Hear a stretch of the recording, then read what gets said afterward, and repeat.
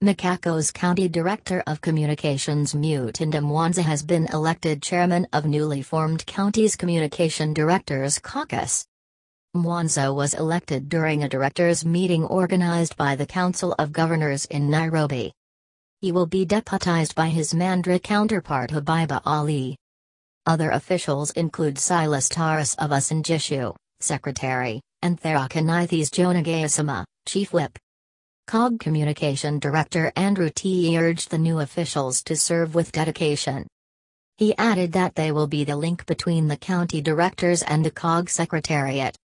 Governor Mutua congratulated Mwanzia on his election and urged the directors to ensure that matters of devolution are reported effectively.